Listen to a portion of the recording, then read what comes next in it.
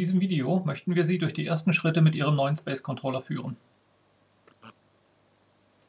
Am Anfang steht die Installation der Treibersoftware. Anschließend wird das Gerät an einen freien USB-Port des Computers angeschlossen. Zuletzt sollten Sie das Gerät testen und ein paar grundlegende Einstellungen mit Hilfe des Space Controller Panels durchführen.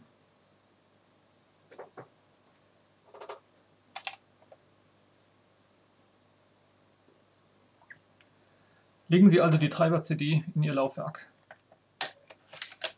Die CD finden Sie zusammen mit dem Gerät in der Verpackung.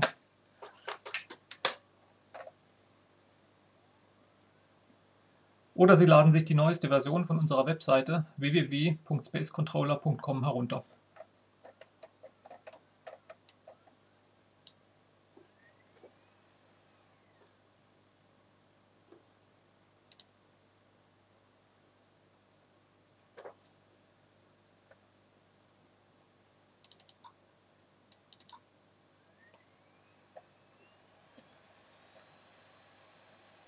Wie jeder Treiber erfordert auch unser Administrator Rechte für die Installation. Klicken Sie die Datei daher mit der rechten Maustaste an und klicken Sie auf Als Administrator ausführen.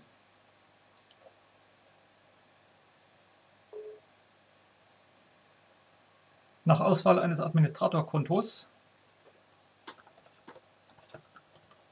und Eingabe des Passwortes können Sie die Installation starten. Folgen Sie danach einfach den Anweisungen auf dem Bildschirm.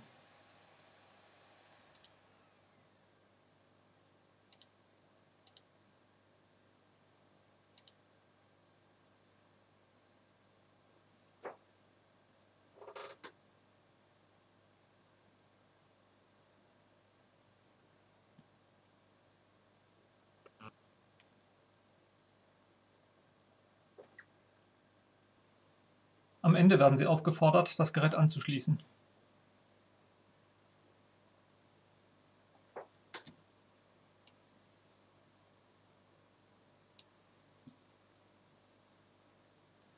Stellen Sie das Gerät links neben die Tastatur.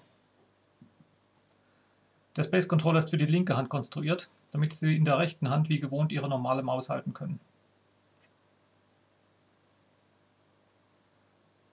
Achten Sie darauf, dass das Display parallel zur Tastatur ausgerichtet ist. Diese Richtung ist die Z-Achse und es ist dann leichter, Objekte zu bewegen. Stellen Sie das Gerät also nicht so hin oder so, sondern so. Stecken Sie dann das USB-Kabel ein und warten Sie, bis das Betriebssystem das Gerät erkannt hat.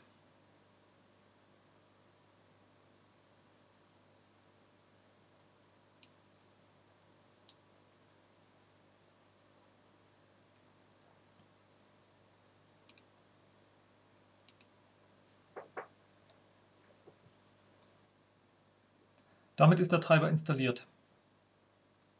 Nun müssen Sie ihn starten. Dazu öffnen Sie das Startmenü, suchen nach dem Ordner Space Controller und klicken dort auf den Eintrag Start Driver.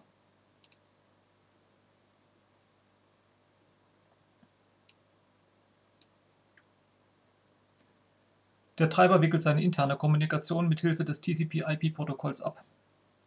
Daher schlägt jetzt die Firewall-Alarm.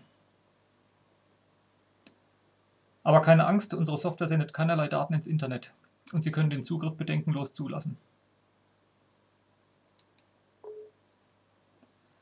Auch diese Erlaubnis müssen Sie durch Eingabe des Administrator-Kennwortes bestätigen.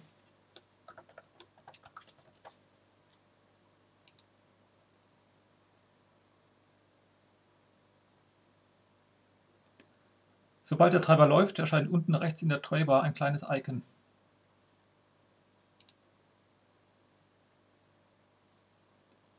Das Icon machen Sie am besten permanent sichtbar.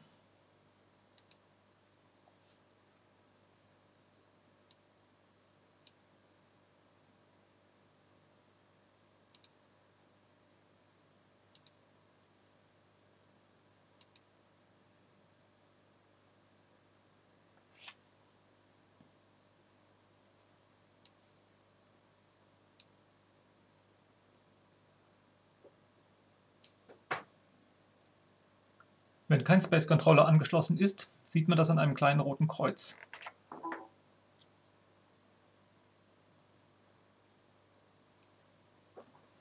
das bei eingestecktem Gerät wieder verschwindet.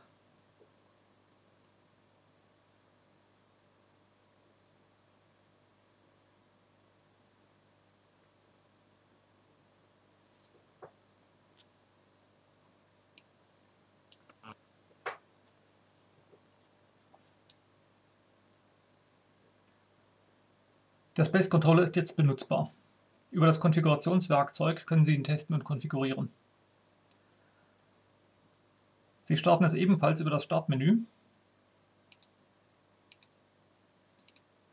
indem Sie auf den Eintrag Control Panel klicken.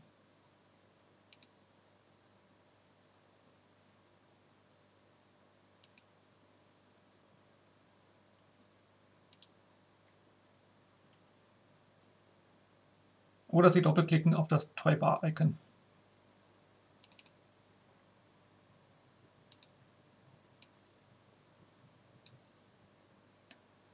Oder Sie drücken die Panel-Taste auf dem Gerät, um das Control-Panel einzublenden oder auszublenden.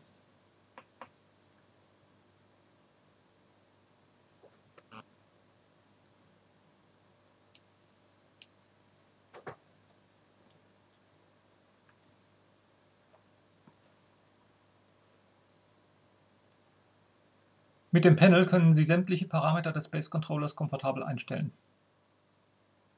zum Beispiel die Empfindlichkeit der Kappe.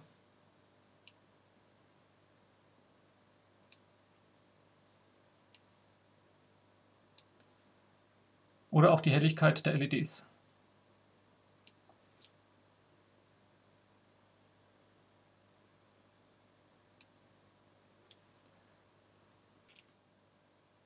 Dazu können Sie auch das Drehrad verwenden, wenn es mit dem Wheel Radio Button so konfiguriert ist.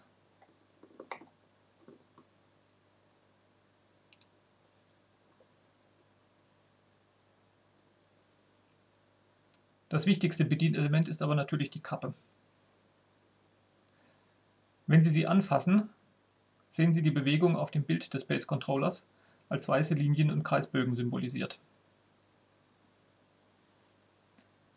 Für einen Anfänger ist es empfehlenswert, den sogenannten Dominant-Modus zu aktivieren. In diesem Modus wird immer nur die am stärksten ausgelenkte Achse bewegt, statt alle Achsen gleichzeitig.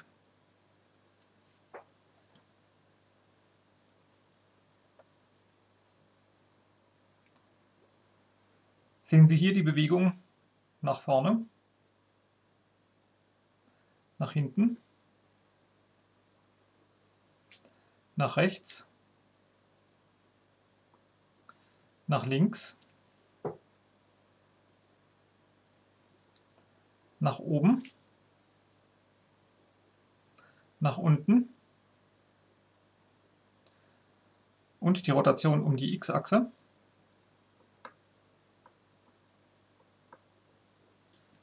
um die y-Achse und um die z-Achse.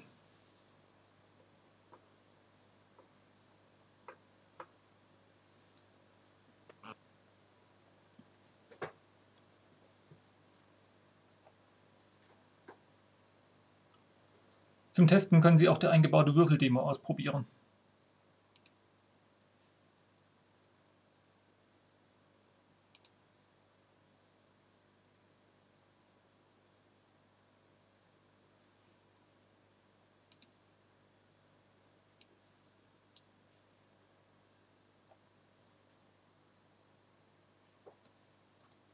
Damit sind wir am Ende dieser kurzen Einführung angelangt. Vergessen Sie nicht, auch noch das geeignete Plugin zu installieren, falls Ihre Applikation eines benötigt.